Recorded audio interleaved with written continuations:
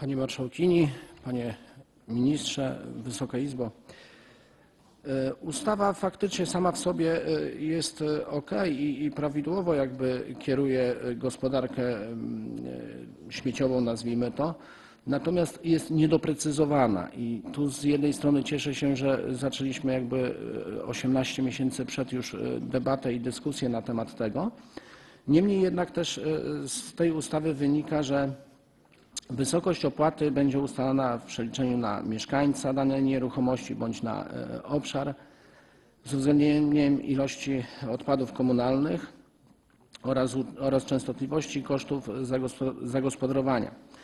Natomiast, natomiast e, też będzie jakby e, ustawa mówi o kosztach administracyjnych ogólnie.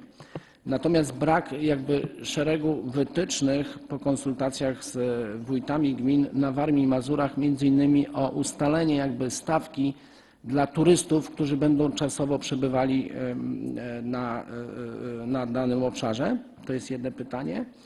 Drugie pytanie. Nie ma skonkretyzowanej właśnie opłaty, w jaki sposób będzie wyglądała opłata za te nieczystości, za te śmieci na danym obszarze gminy. Y, I nie ma jeszcze dokładnej informacji o wytwarzanych odpadach. Gminy, gminy tej informacji jeszcze nie, y, szczegółowo nie posiadają, bo to jest jakby wskaźnik i przelicznik do, do, do tego e, wyliczenia. I na koniec, na koniec jeszcze jedno pytanie.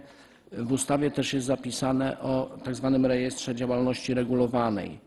Jest ogólny zapis, natomiast nie ma wytycznych.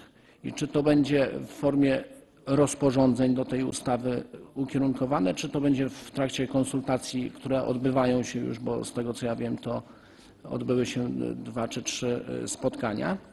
Także bardzo proszę na te pytania odpowiedzieć. Dziękuję.